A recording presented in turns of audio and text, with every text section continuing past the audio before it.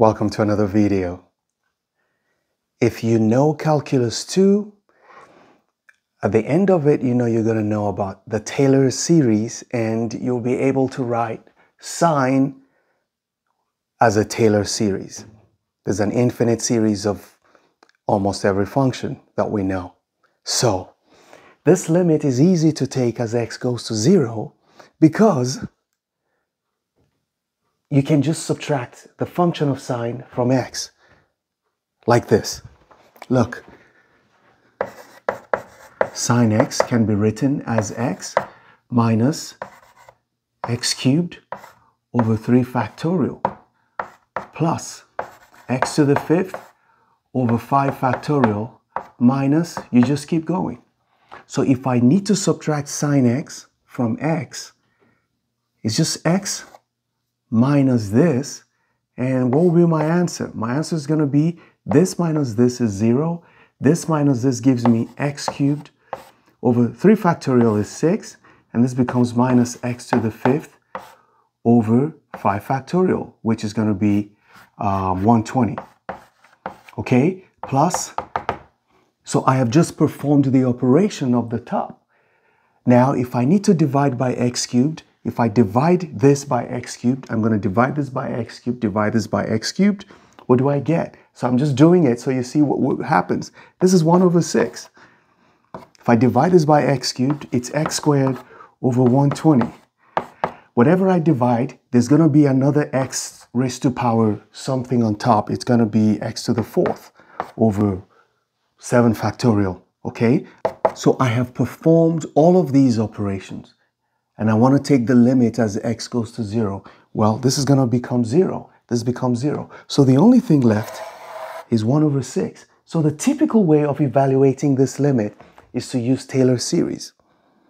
You can also evaluate this limit using L'Hopital's rule because this is 0 minus 0 over 0. So it's 0 over 0. If you differentiate and differentiate again, and maybe differentiate a third time, you may have to differentiate three times to be able to use L'Hopital's rule for this problem. But what if you're in Calculus 1? How would you solve this? Because you can't do this. You don't even know this yet. And you don't even know L'Hopital's rule, or you know it, but you're not allowed to use it for problems. And squeeze theorem doesn't help in this case either. So, someone posted this problem in, in one of, on, as a comment in one of the videos. And when I went to look at the comments, my good friend had already written the solution or how to solve it using just algebra and trig. It's beautiful. And that's what I want to show you in this video. Let's get into it.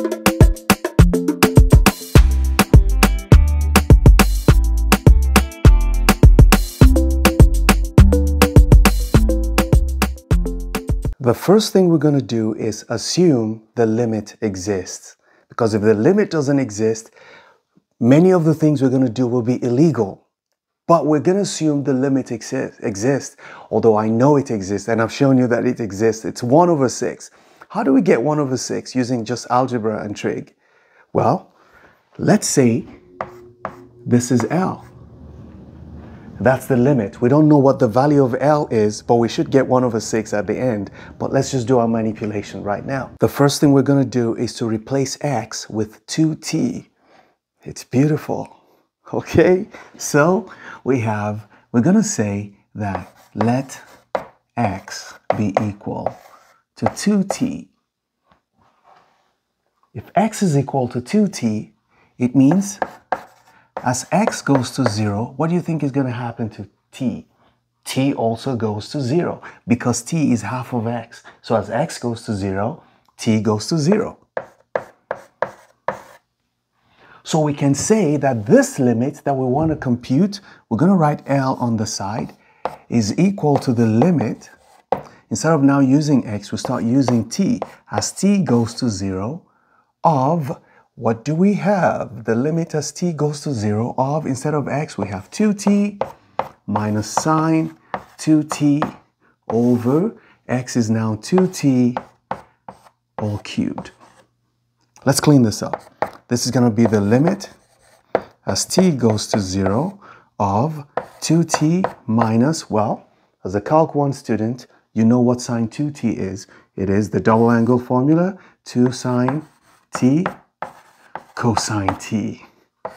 Wow, and this is going to be 8t cubed. Anytime I see cosine t showing up as t goes to 0, I get excited because cosine knows how to absorb a lot of zeros. So, see what we've got. We've got the limit as t goes to 0 of this. Okay, so how does this help me? Well, I can see 2 here. I see 2 here. I can cancel the 2's on top and 1, 2 here. So if I factor out 2 on the top, I can reduce this to some simpler expression. We can say this is the limit as t goes to 0 of, if I cancel out 2's, I'm going to have on top t minus sine t cosine t divided by 4 t cubed. Okay, see this 4 is a constant. I can pull 1 over 4 to the back. Let's do it. Let's save time.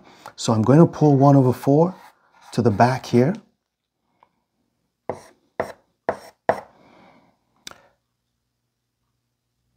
Oh, I might just use this 4 to multiply the L. See this, my L is still here. If I multiply both sides by 4, I'm going to end up with just 4L on this side, which makes my life a lot easier, okay? So that if I have 4L on the left-hand side, what I have on the right is just the limit as t goes to 0 of, look at this expression, t minus sine t. Cos t over t cubed it doesn't look like it's helping me. So see what I'm going to do. I'm going to bring in an extra sine t and take that same sine t away. So you add sine t, you subtract sine t.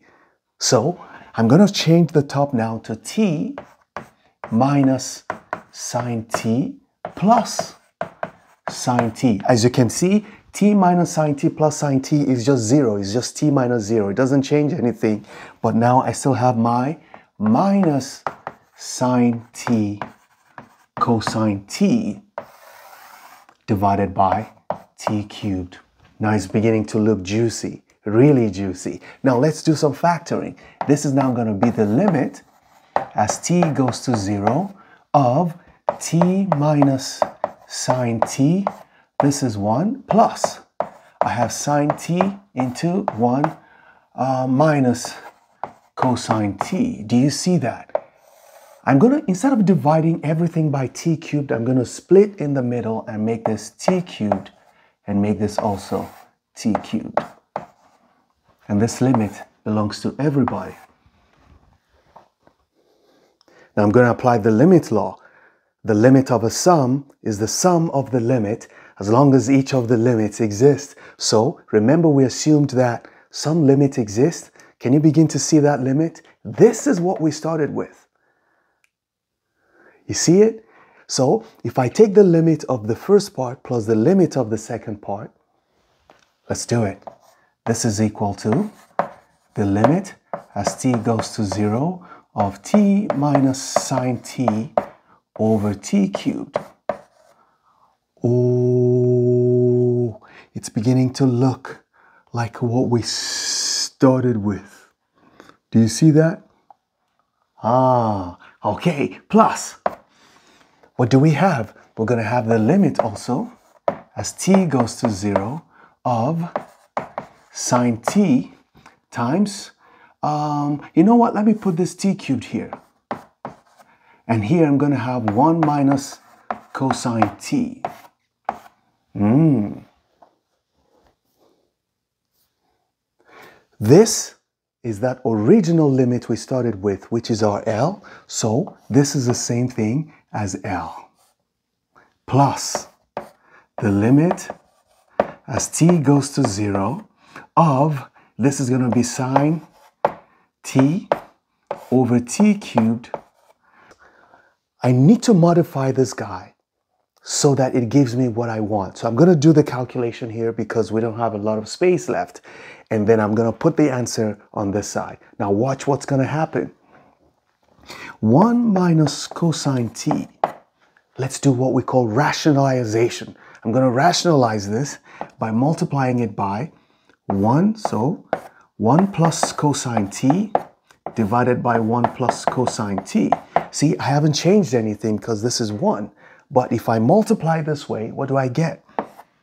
1 minus cosine t times 1 plus cosine t is going to give me 1 minus cosine squared t over 1 plus cosine t. But what is 1 minus cosine squared t? It is sine squared t. okay, so it's going to be sine squared t over 1 plus cosine t. That's all I was looking for. Now that I have what I'm looking for, in fact, this L, I'm taking it away, okay? So if I subtract L from this side, if I move this L here, I'm gonna have 3L here. And what I have on the right is gonna be the limit as t goes to zero. Let's get rid of this. So we're gonna have the limit as t goes to zero of, what do we have now? We have sine cubed t over t cubed. So we have sine cubed t over t cubed. I'm going to write it as sine t over t, everything cubed. Multiplied by 1 over 1 plus cosine t.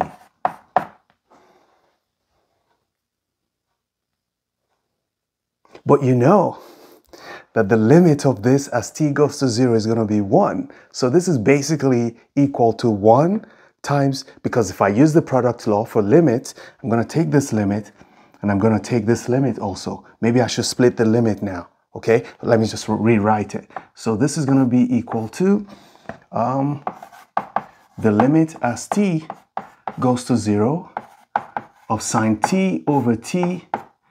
Um, this is now cubed because the limit of a function is the function of the limit as long as the limit exists. You see how much manipulation is here? Okay, um, times the limit as t goes to 0 of 1 over 1 plus cosine t.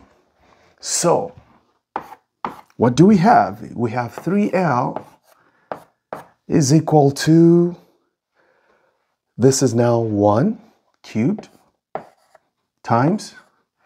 As t goes to 0, this becomes 1. 1 plus 1, it's just 1 over 2. So, what we have is 3L is equal to 1 half, which implies that L equals 1 half divided by 3, which is 1 over 6. That is beautiful. Never stop learning. Those who stop learning, stop living. Bye bye.